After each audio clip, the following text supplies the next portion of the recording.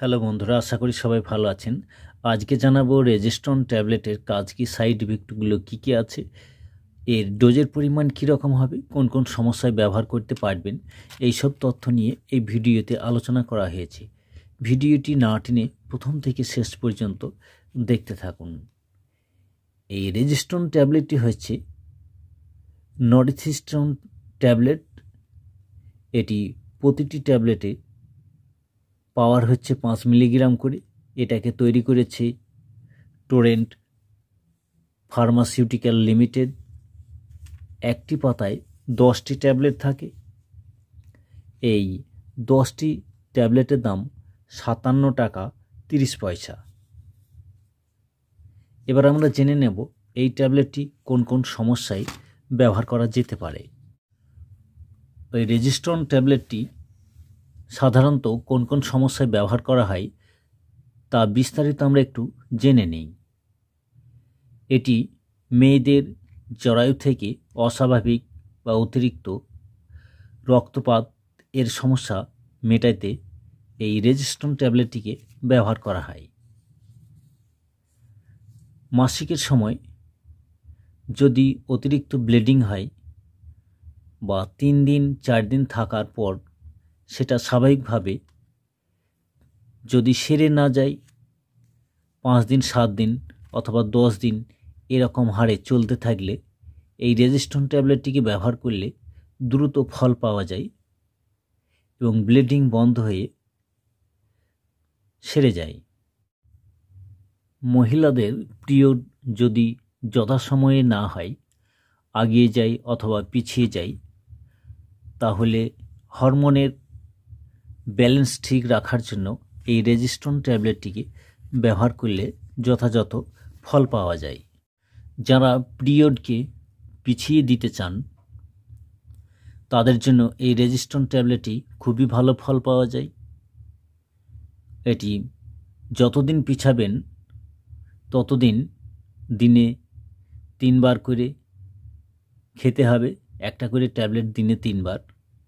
হয়তো পাঁচ দিন পিছিয়ে দিতে চান তাহলে এই ট্যাবলেটগুলো দিনে তিনবার সকাল, দুপুর, রাতে একটা করে ট্যাবলেট খাবার পর খাবেন।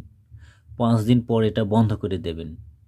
পাঁচ দিন বন্ধর পর ঠিক তিন থেকে চার দিনের মধ্যেই আপনার আবার পিরিয়ড শুরু হবে।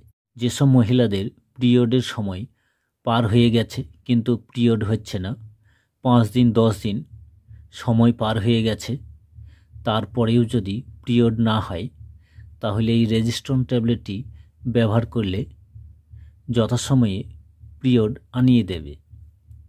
একটা করে ট্যাবলেট দিনে তিনবার। খাবেন, পাঁচ দিন খাওয়ার পর এটা বন্ধ করে দেবেন। তাহলেই তিন থেকে চার দিনের ভিতরে আবার পিরিয়ড শুরু হবে। তবে একটা অবশ্যই কথা মনে রাখতে হবে, সেটি হচ্ছে যদি গর্ভবতী হন, অর্থাৎ প্রেগনেন্ট যদি হয়ে যান তাহলে এই ট্যাবলেটে কোনো ফল দেবে না। পিরিয়ডের সময় যদি খুবই ব্যথা, বেদনা, যন্ত্রণা হতে থাকে, তাহলে এই ট্যাবলেটের কোর্স কমপ্লিট করলে আপনার পিরিয়ডের ব্যথা, বেদনাকে সারিয়ে তুলবে। এই রেজিস্ট্রন ট্যাবলেটটিকে গর্ভনিরোধ ট্যাবলেট হিসাবেও ব্যবহার করা যেতে পারে।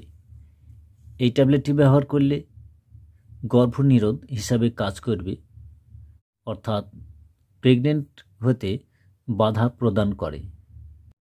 পিরিয়ড যথাসময়ে আনার জন্য এই ট্যাবলেট ব্যবহার করলে তিন মাস এই ট্যাবলেট ব্যবহার করতে হবে। মেন্সের পঞ্চম দিন থেকে শুরু করে একুশ দিন পর্যন্ত এই ট্যাবলেট খেয়ে যাবেন, তারপর বন্ধ করতে হবে। এইভাবে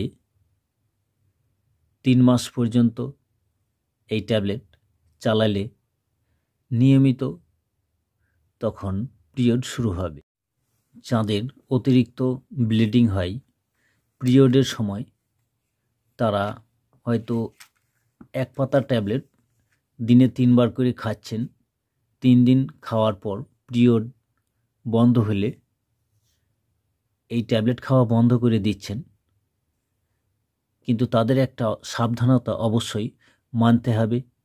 এই ট্যাবলেট কোনো মতেই দুই দিন বা তিন দিন খেয়ে বন্ধ করা যাবে না।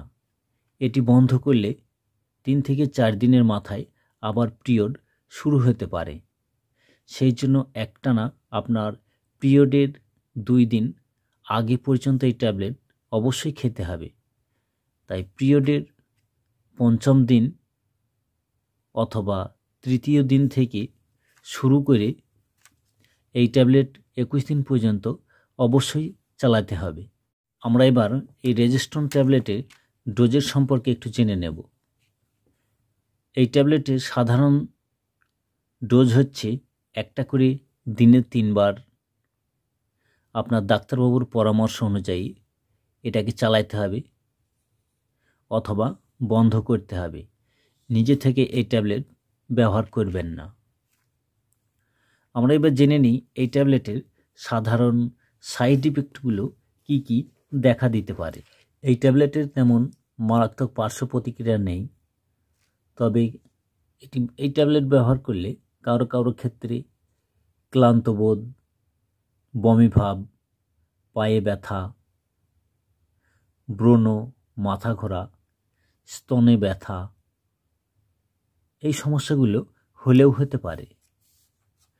আমাদের এই ভিডিওটি ভালো লাগলে লাইক শেয়ার কমেন্ট এবং সাবস্ক্রাইব করে সঙ্গেই থাকুন।